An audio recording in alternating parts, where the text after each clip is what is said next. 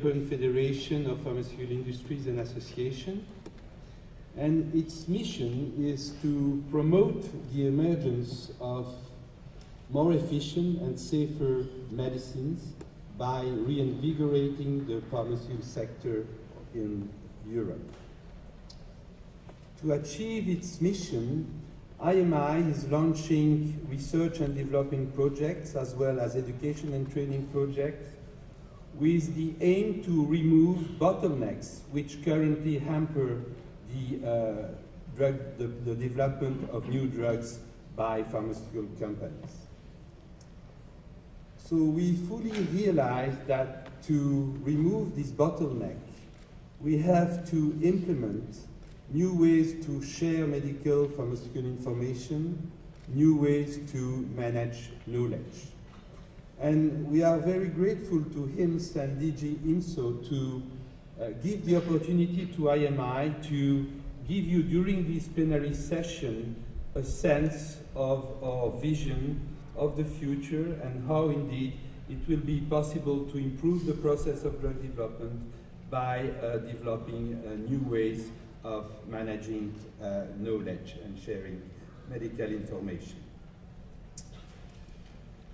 If you want to know more about concrete achievements of IMI, some of them will be uh, presented already this morning. There will be a more specific session this afternoon, which will represent our annual stakeholders forum, when we will uh, present ongoing projects as well as our future activities. But for this plenary session, we uh, decide to um, offer you three presentations to give you indeed uh, an idea about how uh, uh, the uh, new technologies about um, medical information and knowledge management can positively influence the pharmaceutical sector.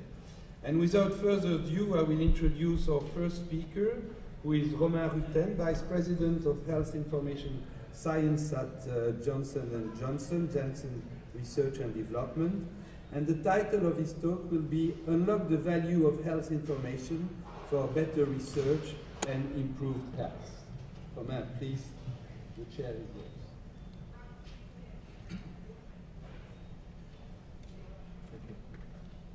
Um, first of all, thank you, Michel, for uh, the opportunity to present to this uh, uh, audience here. Um, listening to the presentations yesterday, it's clear that there is a lot of engagement in the audience to make significant changes to the e-health uh, environment uh, towards the future.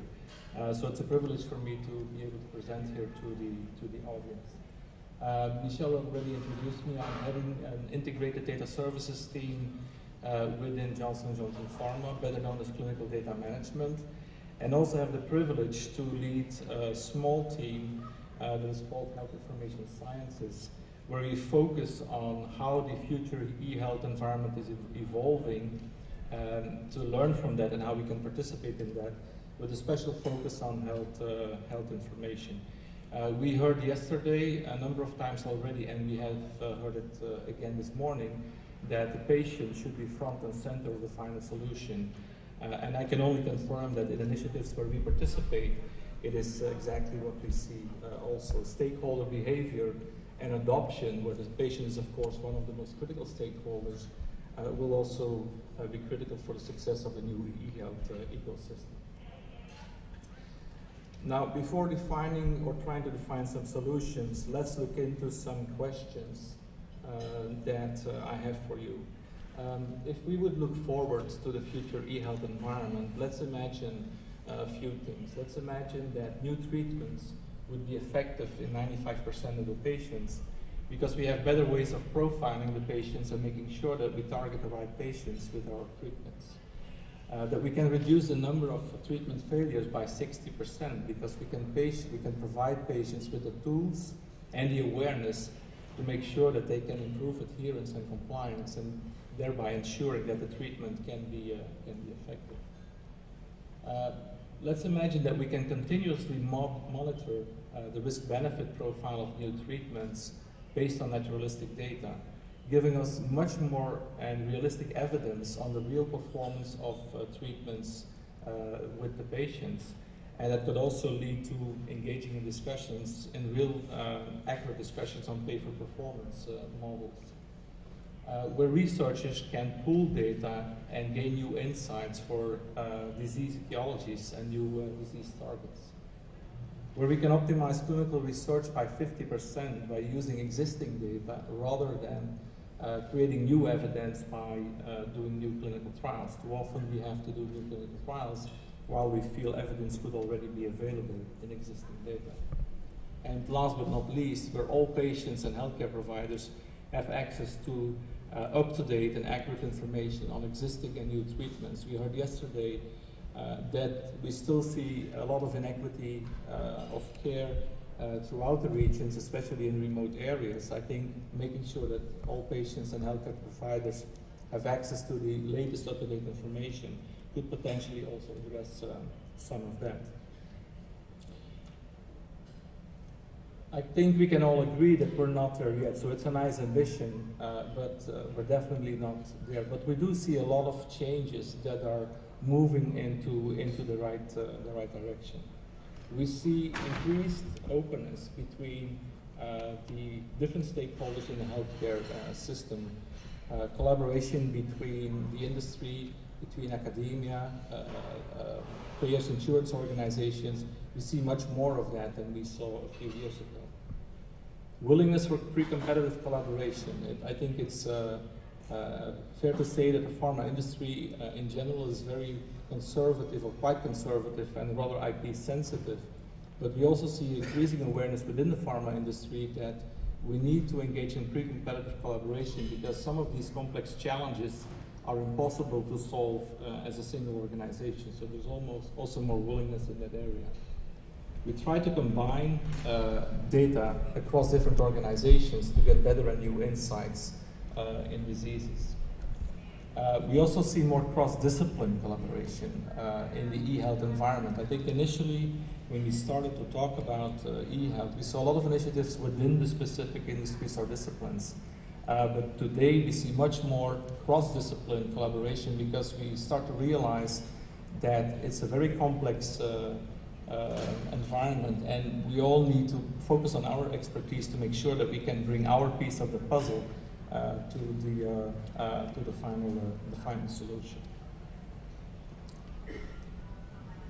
If we look at the uh, journey of a person or um, a patient um, that goes from prenatal and, and birth up to late stage treatment and, and final death, what we expect towards the future is that we will continuously and routinely collect uh, information on the patients by a number of devices that uh, we have some examples out there, but that's not intended to be, to be an exhaustive list, it's just an example. But we expect that we will routinely collect more and more information, and that information is going to be used or will be used uh, to define optimal strategies uh, to maintain wellness uh, prevent disease, uh, finally define the right treatment, make sure that we have and support adherence and follow-up of that treatment, and finally also can help with assisted living um, for, the, for the elderly. Uh, we heard yesterday about uh, a new initiative, the European Innovation Partnership um, pilot um, on active and healthy aging with the objective of increasing uh, the healthy life years with two years by the age of uh, by the time of 2020. Uh, I think it is obvious that in order to achieve that uh, objective, better use and optimal use of available information is going to be a critical or a key component uh, of that um, of that solution. Um, what we also see is that within pharma, and that's a little bit that's depicted on the bottom, uh, rather than focusing on just therapies and new drugs, we also start to see more models that uh, involve different components where diagnostics and therapies are combined and also more and more information components are added so that we can provide integrated solutions uh, to the needs of the patients rather than uh, ther just therapies and, uh, and medications. Now, in order to achieve that, um, we obviously need uh, a common or a platform where we um, can exchange information and more important, like we heard before, not only exchange information but interpret the information in the in the correct way. Um, and please do not overinterpret the visual. It's not intended to depict the solution. It's more intended to depict uh, the, the functionality. I think a platform like this is going to be key to get to the world that we imagined uh, a few slides ago. Um, I don't know whether people attended the presentations yesterday, but we heard from the CIO of uh, Asklepios that um, he explained about the digital natives and how they are uh, highly efficient in downloading tunes from iTunes or videos from YouTube and how, how they take full benefit of the uh, digital uh, revolution. And he used his daughter as an example of that. And I think that's all true, of course. But I think one of the main reasons why it's working so well in that environment is that when his daughter is downloading a tune from iTunes or a video from YouTube, she doesn't have to wonder whether it will play on her device or whether the video will show on the device. It will because that industry or that has managed to define the standards in a way that people do not have to uh, bother about it. So people, the, that is interoperable, that information can be exchanged, and they know exactly that it's going to work. I think if we want to get to the same uh, seamless operation in the e-health environment, I think standardization and semantic interoperability, like mentioned before, are going to be key components of that, uh, of that environment. Um, I think it's obvious if we talk about the common platform and standards for access to patient information, everything needs to be surrounded by the right ethics and the private uh, privacy and security discussions, of course. As mentioned before, we will collect uh, routinely information uh, during a person's life. Healthcare providers in discussion uh, with patients will be, be able to use that information to, to decide on the best uh, treatment or prevention of uh, uh, diseases. We also heard a lot yesterday about the empowered patient. I think this is also an environment towards the future where we will see that patients having access to this kind of information will be more informed and better informed and will be engaging in a discussion with the healthcare provider to decide on the best treatment. Also will be able to follow up and to monitor uh, for themselves how they're, uh, how they're doing. The healthcare industry could also benefit, of course, from the uh, information to discover new, uh, new targets and also accelerate the development, but also, um, not in the least, to also send information back to the framework. I don't think it should be a one-way street where we use the information to improve R&D, but if we have a platform that allows for that, it would also allow us to send relevant information of the products uh, on efficacy and safety back into the framework that, that can be used by the healthcare providers and the patient uh, uh, to monitor. Healthcare regulators can also obviously use the platform to uh, define new policies, and of course also payers and insurers can get to more evidence uh, and better information to discuss uh, pay for performance models moving forward. Now, how will we get there?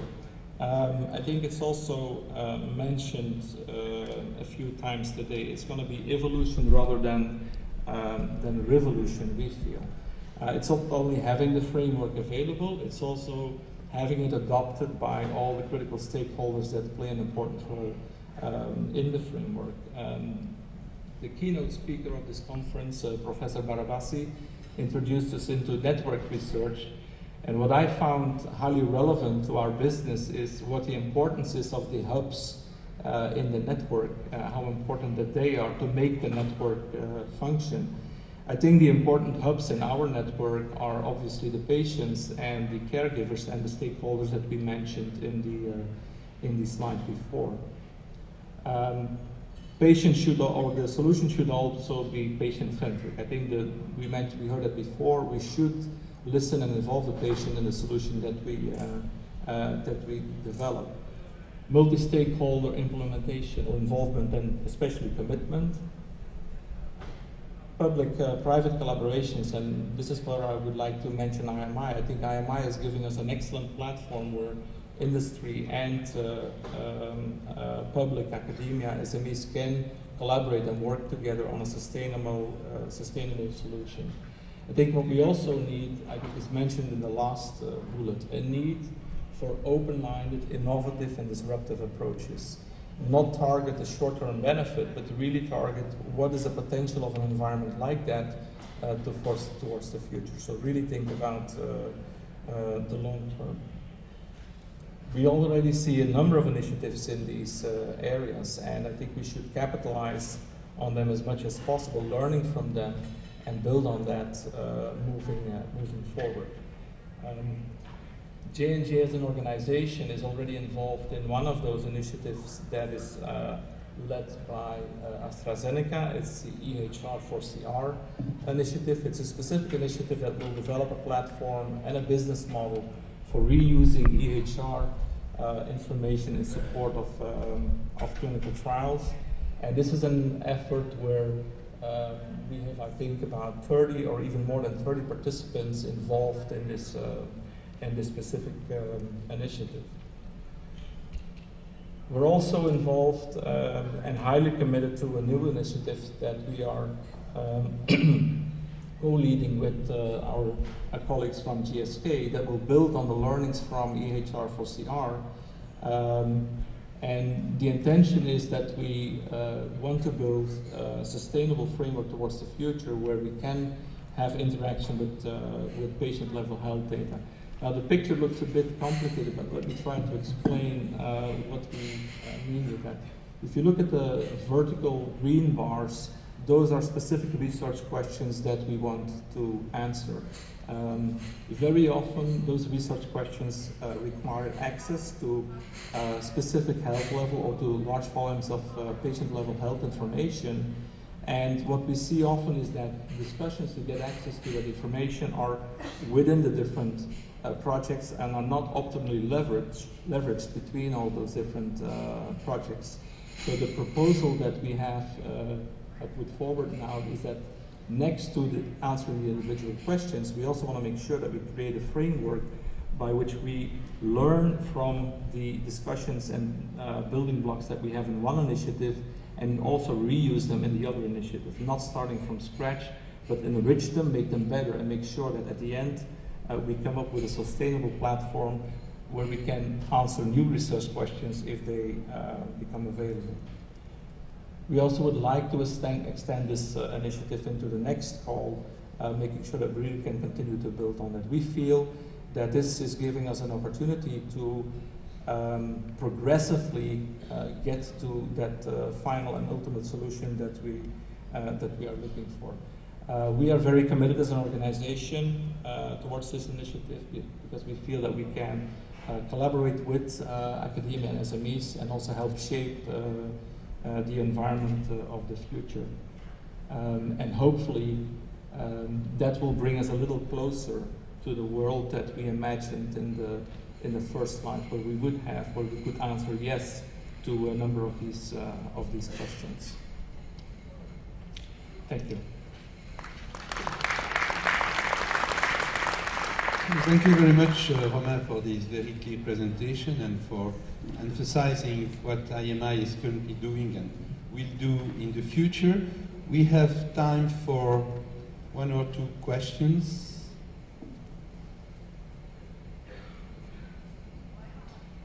If are not, perhaps just one question. Pre-competitive research is a concept which has been primarily developed by large companies and I would like you perhaps to elaborate a bit and to get your definition of pre-competitive research, which could be applied not only to large companies, but also to your partners, for example, your partners in the IMI project that you mentioned. But I think in, in the